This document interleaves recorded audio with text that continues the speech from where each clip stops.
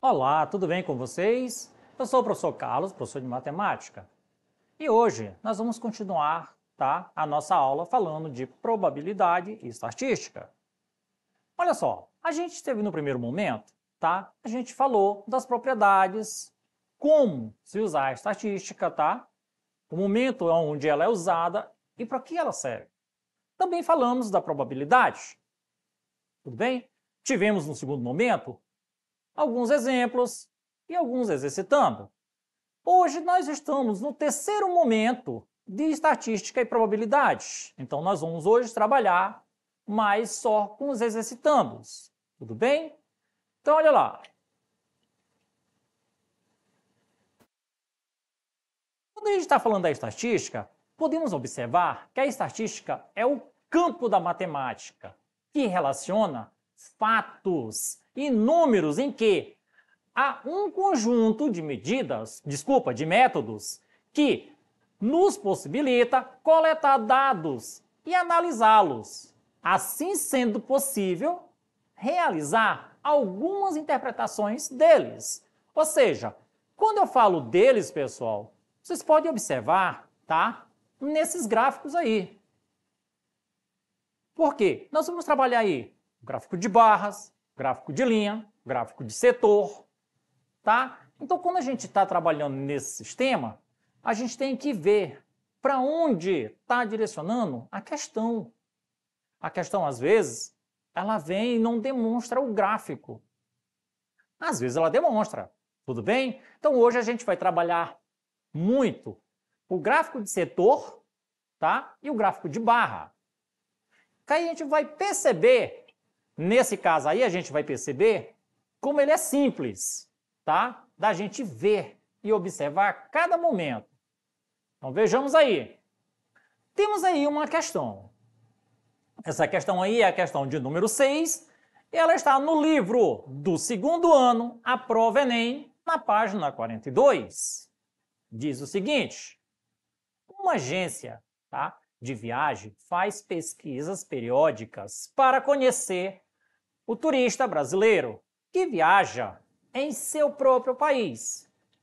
Na última pesquisa, foram entrevistadas mil pessoas, que foram divididas em. Então, olha só, pessoal. Antes da gente continuar, uma das observações nesse tipo de questão, a gente tem que observar o valor máximo, tá? e as divisões para onde vai ser. Quando a gente está falando nisso, lembrar logo, a gente trabalhando estatística e probabilidade, a gente vai trabalhar porcentagem. Tudo bem? Então, antes de eu continuar ali a questão, então podemos observar. Um exemplo aí, 5 dividido para 100, né? Vai dar 0,005, e aí a pessoa vai pensar, não, mas nós vamos trabalhar porcentagem. Então aí vai ver quanto vai dar. Tudo bem? Então vamos lá, continuando. Observe aí, são três pontos. Clientes atuais viajaram é, recentemente e pretendem viajar mais. Dois, segundo ponto. Clientes potenciais não viajarão recentemente, mas pretendem viajar. Terceiro ponto, não clientes não pretendem viajar. Observe abaixo alguns resultados dessa pesquisa. Então, nós temos aí um gráfico de barra. Então, podemos observar os não clientes, 7,7%. Então, observa aí que nós vamos trabalhar a porcentagem, certo? clientes potenciais, 33,5%. E clientes atuais, 58,8%. Aí nós temos a distribuição, tá? dos entrevistados. Então, nesse caso, pessoal, nós devemos observar todos os detalhes, tudo bem? Os que são clientes, os que são potenciais e os que não são. Então, eles foram divididos, tudo bem? Tivemos mil entrevistados, bem divididos. Então, podemos ver. Continuando a questão. Olha a observação aí. Observe que no primeiro momento, a gente viu o gráfico de barra, certo? Mas vamos colocar esse gráfico de barra aí no gráfico de setor. Então, olha, observe aí. Motivos dos não clientes para não viajar. Então, nesse caso aí, nós podemos ver que ele não é tanto. É 7,7, não é isso? 7,7. Então, ele fica tranquilo. Mas ele bem dividido, a gente tem que olhar diferentemente. Então, vamos lá. Primeiro momento. Vamos ver aí agora movimentos, é, é, desculpa, motivo dos não clientes, tá? Para não viajar. O gráfico, a parte amarela, a parte maior, nós temos aí 55,7%, tá? Falta de condições financeiras. Então, lembrando, 7,7 a gente totalizou agora ele em 100%. Então aí nós temos 55,7 com alguns que não têm condições financeiras, tá? A parte azul não tem interesse, 23,4%. A parte vermelha do gráfico de setor, ele vai mostrando 6,8. Interesse em viajar para o exterior. Então isso mostra que ele não tem interesse em viajar pelo país dele. Tudo bem? Tem interesse de viajar no país exterior. O verde, tá? O verdezinho mais claro, porque nós temos dois verdes aí no gráfico de setor, um mais claro e um mais escuro. O verde mais claro, 4,2%. Medo da violência. A parte lilás, ele está mostrando que tem 2,6% está desempregado. A parte laranja do gráfico, 2,6 também, falta de tempo. E o último, que é o verde escuro, 4,7, outros motivos. Então podemos observar que dos 7,7%, tá? Nós tornamos ele num todo e distribuímos o motivo deles não quererem viajar. Tudo bem? Então vamos lá, continuando. Com base nos dados dos gráficos, pode-se afirmar que o número de entrevistados não clientes que não viajam por falta de condições financeiras se aproxima mais de. Aí nós temos aí cinco alternativas. Letra A, tá? 30, B 40, C 50, D 60 e E 70. Vejamos aí passo a passo. Vamos ao primeiro momento. A quantidade de não clientes é dada por 7,7% de mil, tá?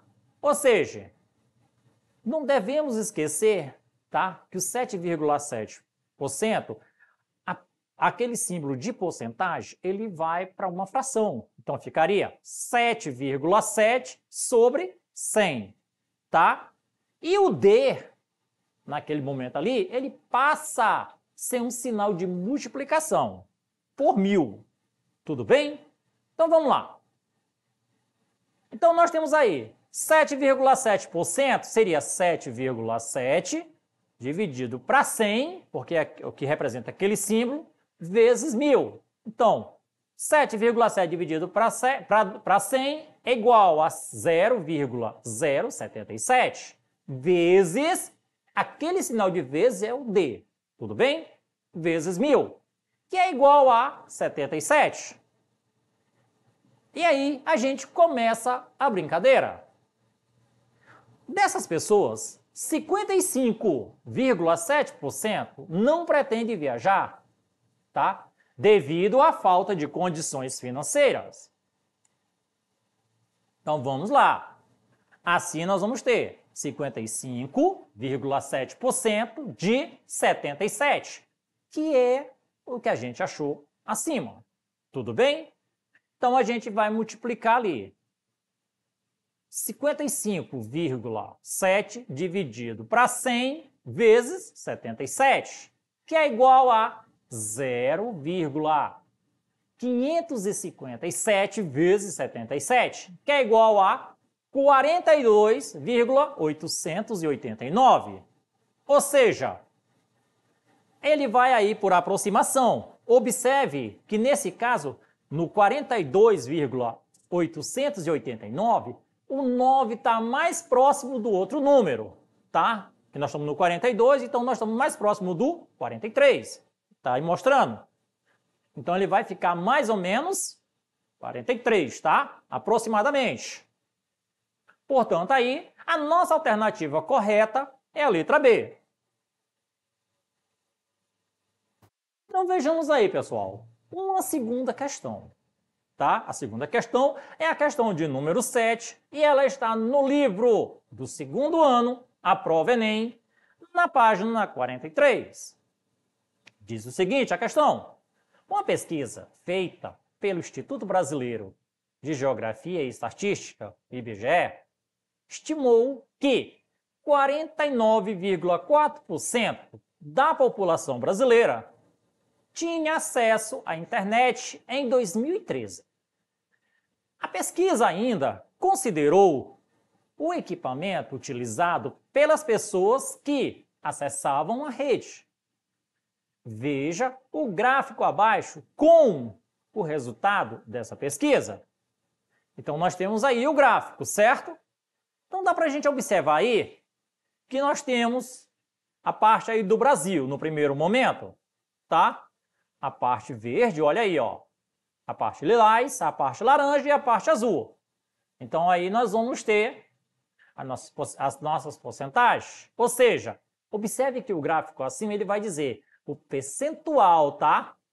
De domicílios com utilização da internet por tipo de equipamento utilizado tá? no Brasil em 2013. No norte, como nós temos o Brasil todo, vamos por parte de classificação. No norte, temos o Nordeste, temos o Sudeste, temos o Sul e o Centro-Oeste. Mas para a gente olhar bem esse gráfico e essas barras, vamos observar a parte abaixo do gráfico. Nós temos aí cada pontinho desse uma cor, certo? O microcomputador, tá? Ele vai estar tá no azul, tá? Na parte mais escura. Ao lado, o laranja, tá? O telefone móvel, o celular, o tablet. O verde, só tablet. E o roxo, mais escuro, telefone móvel, celular. Tudo bem? Então nós podemos observar aí no norte que nós temos aí o verde, 10,4. Já no, na parte lilás, né, que é o telefone móvel, nós vamos ter 75,4. No laranja, tá, que é o telefone móvel ou tablet. Nós vamos ter aí 76,8. E no azul, nós vamos ter 64,8. Então, assim, ele vai servir todos esses dados para o Nordeste, Sudeste, Sul e Centro-Oeste. Então, olha aí. Considere as afirmações a seguir. No primeiro momento, nós vamos ter aí. Observe agora que nós vamos trabalhar os pontos por algarismo romano, tudo bem? Então, cada ponto desse é essencial para a gente saber o resultado. Tudo bem? Então, olha só. Primeiro momento lá, ele vai dizer, no 1, de modo geral, a internet pelo, pelo celular no Brasil é utilizada por mais da metade das pessoas que acessam a rede. 2. Em todas as regiões brasileiras, a internet é acessada principalmente por microcomputador. 3. O Sul é a região brasileira que mais tem acesso à internet. E 4, tá? A única região brasileira que não segue o padrão de utilização da internet é o norte, em que o acesso pelo celular supera o acesso por microcomputador. De acordo com, a, de acordo com o gráfico, podemos dizer que estão corretas qual das alternativas. Então, nesse, nesse caso aí, nós temos a, as afirmações que podem estar corretas e pode estar falsa. Normalmente, a gente já pode ter uma ideia. Tudo bem? A gente olhando visualmente, a gente já pode saber. Mas vou mostrar para vocês passo a passo. Tudo bem? Então vamos lá. Vamos analisar cada alternativa de acordo com o gráfico. Tudo bem? Então vamos lá. O primeiro gráfico ele vai dizer: a afirmação 1 está correta, pois observando as barras do gráfico referentes ao acesso por telefone móvel, a porcentagem em todas as regiões é maior que 50%.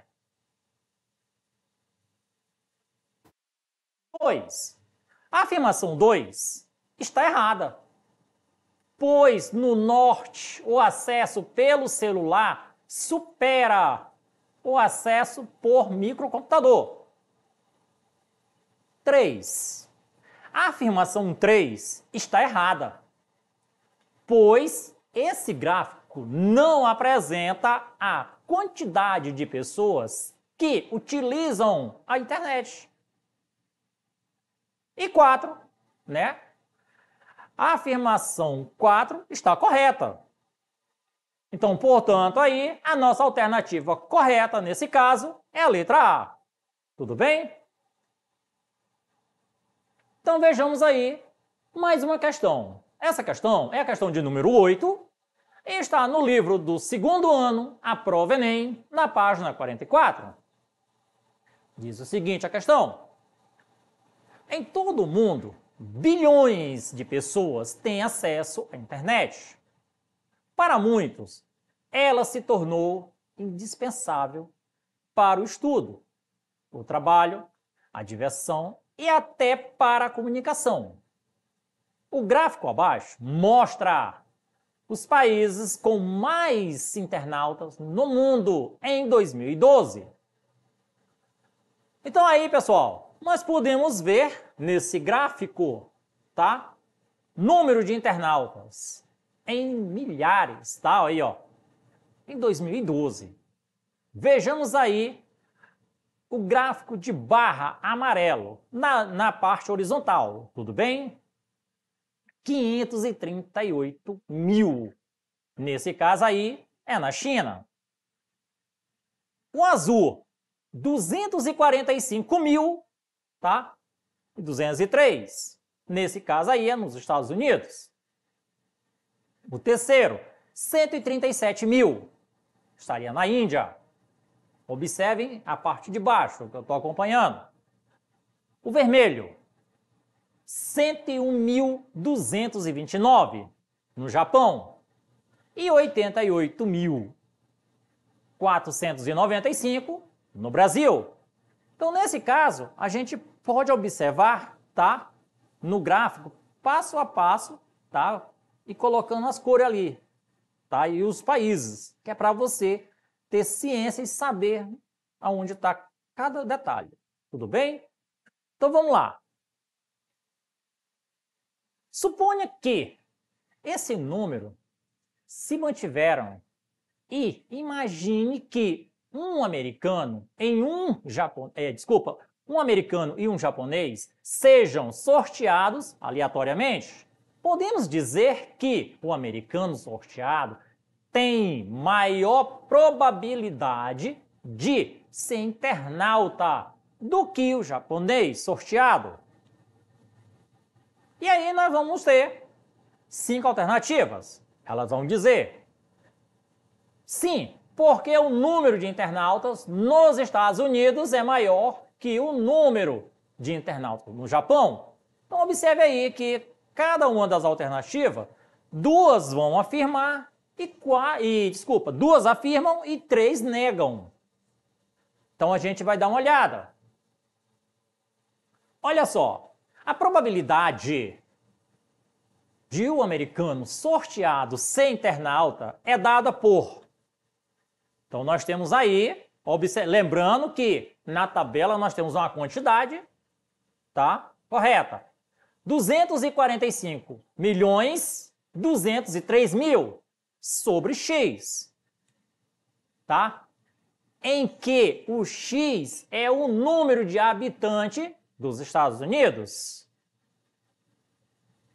Analogamente, a probabilidade de um japonês sorteado ser internauta é dada por 101 milhões 229 mil sobre y, em que o y é o número de habitantes do Japão. Portanto, só é possível saber que a nacionalidade tem a maior probabilidade de ser internauta se soubermos quantos habitantes há em cada um desses países. Portanto, aí a nossa alternativa correta é a letra E. Então isso mostra, pessoal, que naquele momento lá das questões ele botou que tinha duas afirmando e três negando. Então nós vamos saber que, nesse caso, a questão vai estar negando, porque a gente sabe ali, mas não sabe o número de habitantes, tá? Sabe o número de internautas, mas não sabe aquele número exato de habitantes em cada país. Tudo bem? Pessoal, essa foi a nossa aula de hoje. Para rever essa aula e outras, acesse as nossas plataformas. E até a próxima aula.